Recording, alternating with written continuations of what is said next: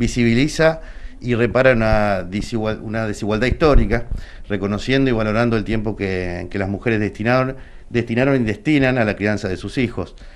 De esta manera eh, iguala oportunidades y genera las condiciones necesarias para que muchas mujeres eh, puedan acceder al derecho a jubilarse.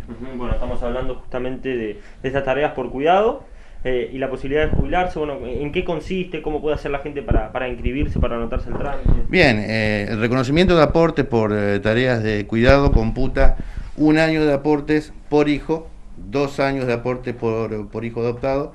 Asimismo, reconoce de forma adicional un año por hijo con discapacidad y dos años en el caso que hayan eh, sido beneficiarios de la UH por al menos 12 meses. Con respecto eh, a esta nueva medida, estamos trabajando desde el lunes eh, pasado primero de agosto, fecha en que entraron en vigencia las modificaciones a través de, turnos previos que la persona saca a través de, la, de nuestra web, anse.gov.ar.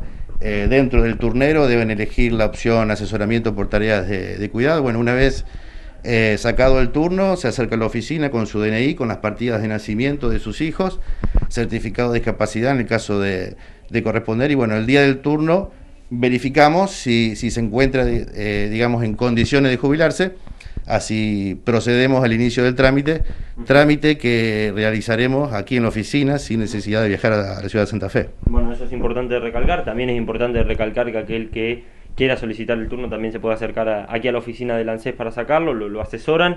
Eh, consultar, teniendo en cuenta la, gran estafa ¿no? que hay con el nombre de ANSES telefónicamente, si, si este trámite tiene algún costo, si el ANSES cobra por hacer este trámite.